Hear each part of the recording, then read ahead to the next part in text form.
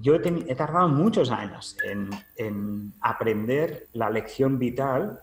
Mucha gente que me conoce me diría, Miquel, tú lo has hecho esto toda la vida. Pero no es solo a nivel externo.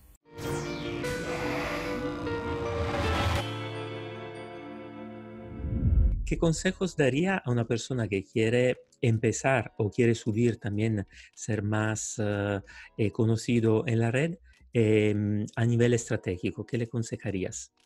Ah, yo diría mirar dos, dos, puntos esenciales, ¿vale? El primero es qué te gusta, o sea, mirar nuevamente hacia adentro. Si a ti te gusta estar todo el día con el móvil ah, ahí compartiendo pequeñas frases, no sé qué, pues igual Twitter será ideal. Si te gusta estar compartiendo un poco tu lifestyle con stories, etcétera, pues Instagram igual es mejor. Ah, y, y esa parte creo que es muy importante, porque si a ti te gusta, si tú lo haces de natural, pues eso te va a ser fácil, ¿no? Yo, por ejemplo, no me gusta ni, mucho, ni compartir pequeñas frases así a diario, ni estar mostrando mi estilo de vida, ¿no? Ah, y esta, esta es una, una, parte importante. A mí, por ejemplo, lo que me gusta más son contenidos más en profundidad y encuentro más mi espacio, por ejemplo, en YouTube o incluso en los eventos, en los programas, en los webinarios con mis clientes. Esto es lo que más, más me gusta, digamos, es la parte de un grupo pequeño donde comparto cosas de mucho valor. Entonces, digamos, el programa Genius, por ejemplo, que tenemos en la escuela, o el programa Foco, o incluso el programa Lanza, que es más masificado, pero que, que también tengo sesiones y puedo ayudar de... Eso es lo que yo personalmente más disfruto. Y esa parte me parece súper importante, un análisis de dónde tú disfrutas, ¿no? Porque si tú disfrutas ahí, es que eso va a fluir. Y luego otra parte también es, si tú vas a escoger un canal, ¿qué te da ese canal? Por ejemplo, Instagram está muy bien, pero los, o Twitter, pero lo que tú publicas ahí desaparece muy rápido. Ah, se hunde y tienes que volver a publicar, tienes que estar alimentando constantemente ese canal.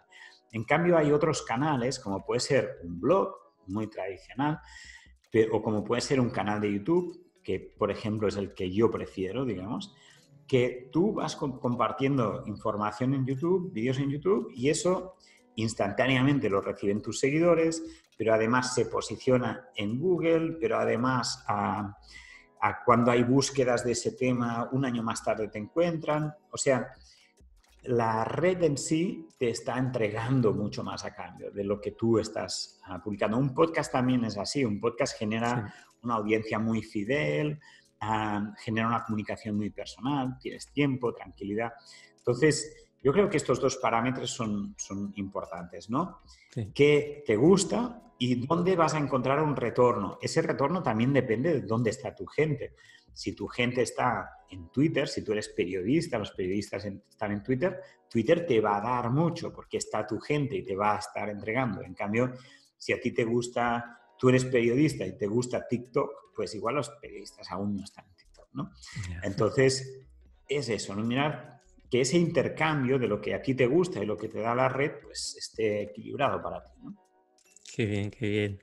Y un poco mirando la, la situación actual, ¿qué consejos darías a las personas que nos escuchan para darle un poco de, eh, fuerza para, el futuro?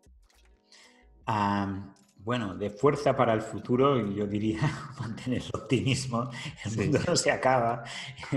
Estamos ante un cambio muy importante, pero el mundo sigue.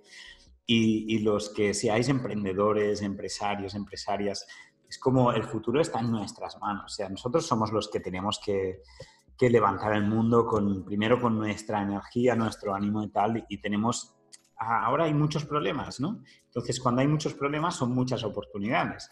Entonces, los empresarios, los emprendedores nos dedicamos a solucionar problemas. O sea, estamos altamente demandados ahora, ¿no? Y podemos, damos trabajo a la gente, vendemos productos que les ayudan, conseguimos dinero que podemos reinvertir en, en comprar cosas que le ayuda a otras, o sea, somos los que movemos la economía, ¿no? Entonces, yo es que soy casi creyente del mundo de emprender, ¿no? Especialmente el mundo online. Entonces, cualquier persona que, que esté ahí como, ostras, ¿qué hago tal? Ponte a emprender. descubre el mundo online. Eh, me parece que es un mundo que tiene mensajes súper positivos. Ah, el otro día, cuando presentábamos el libro, por ejemplo, hicimos un Zoom, estaba, lo retransmitimos en, ah, en, YouTube, en el canal de la escuela, está ahí grabado. Y todo el mundo que estaba, que son personas que tienen negocios online, hablaban de la sensación de hacer lo que te da la gana, de que vives de lo que te da la gana, que estás contento, ¿no? Y era como, nuestro sector sigue feliz, sigue haciendo lo que quiere. Ah, si tenemos que estar en casa, ya estábamos en casa muchas veces, no sé. Entonces, si alguien está ahí con la versión más oh, de dificultad, pues igual está bien descubrir en un entorno donde no todo está tan mal, donde seguimos creciendo, donde siguen funcionando las cosas. Sí, eso es muy importante, seguir creciendo y tener siempre, siempre un sueño vivo que te, que te da esta energía para, para ir más allá. Y para concluir, un secreto que nunca ha compartido en la red o un consejo que quieres uh, un poco dejar a las personas que nos escuchan. Qué difícil un secreto que nunca haya compartido porque he compartido muchas, y muchas cosas que, igual hace unos años no, no me atrevía a compartir y lo he hecho, ¿no? Y igual más que un secreto te, te tomo la otra propuesta. Sí. Y un consejo sería justamente eso, ¿no? Atreverse a, a ser uno mismo marcándose sus propias reglas. Y yo he, he tardado muchos años en, en, aprender la lección vital de, realmente, realmente guiarte internamente por tus propias reglas. Digan lo que digan los demás, espere lo que se espere de ti, etc. ¿no? Y es, es curioso porque mucha gente que me conoce me diría, Miquel, tú lo has hecho esto toda la vida. Pero no es solo a nivel externo, es como estar la tranquilidad de que haces lo que quieres y cada uno tenemos una personalidad, una manera, un...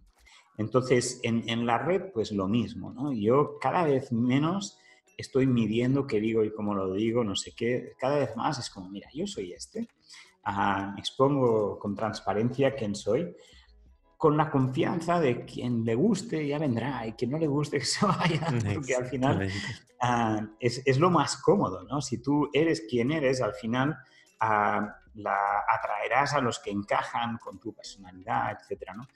Y eso no, no digo, yo qué sé, no digo a enseñar todas tus versiones. Yo igual, un domingo estoy sin afeitar, con un chándal tumbado en un sofá. Tampoco digo que esa es la versión que tengo que enseñar en la red, pero, pero lo hablo a nivel de, tu personalidad, tu manera de hacer, no, no fingir, sino ser quien, quien eres y ya está. Y eso al final atraes a unas personas, rechazas a otras, pero es mucho mejor que tu negocio esté construido con estas bases que tu actividad esté construida en estas bases, porque te sentirás bien y estarás al final con personas que realmente quieres.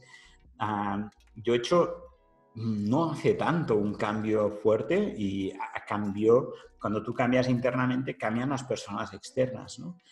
Y soy más feliz con la gente que estoy ahora que, que, con gente que igual estaba yo adaptándome un poquito, ¿no? Cambias, es una nueva versión y pones esa nueva versión en el escenario, digamos, en, webinar, lo que sea.